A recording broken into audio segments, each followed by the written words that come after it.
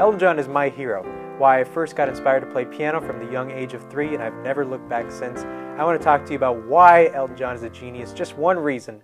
And um, his songs are so beautiful. One thing that makes it so beautiful is his use of slash chords. Now, what are slash chords? Slash chords are basically a chord with an alternate bass note. And what that does is that gives him beautiful voice leading and a very melodic bass motion.